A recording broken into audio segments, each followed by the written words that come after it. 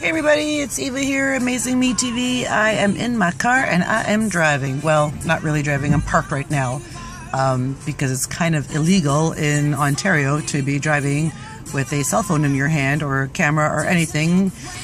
Anyway, so I'm parked and uh, just on my way into the mall here. So this weekend here in Canada it's Thanksgiving, and I'm sure most of the, my peeps that watch this video uh, are in Canada and know that it's Thanksgiving weekend.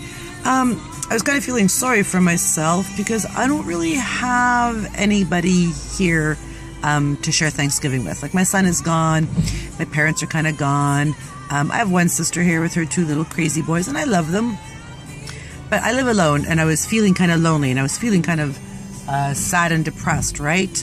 Um, kind of feeling sorry for myself, actually thinking, oh, woe is me, it's Thanksgiving, and nobody's inviting me to their house uh, to have a nice big dinner with lots of family and friends and pumpkin pie and turkey and stuff. So I thought, you know what?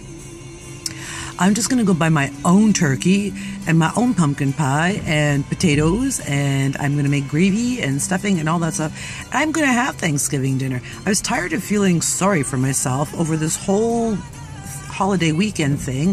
I thought, you know what? Like, that's enough. Get over yourself. So I decided I'm going to take matters into my own hand make myself happy, and make my own Thanksgiving dinner. Um, anyway, the point of my story is that when you're feeling sorry for yourself for something as little as this, and to me it's little, right? Because I mean, I do have stuff, and there are people out there that don't have anything. So I do have things. I have lots to be thankful for.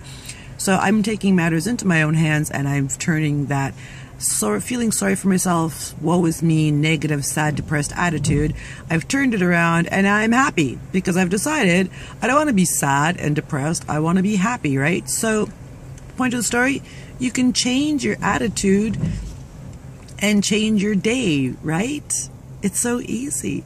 So, if you're feeling sad about something, turn it around and make it happy. Try to find something good in it do whatever you have to do to be happy in whatever situation you're in.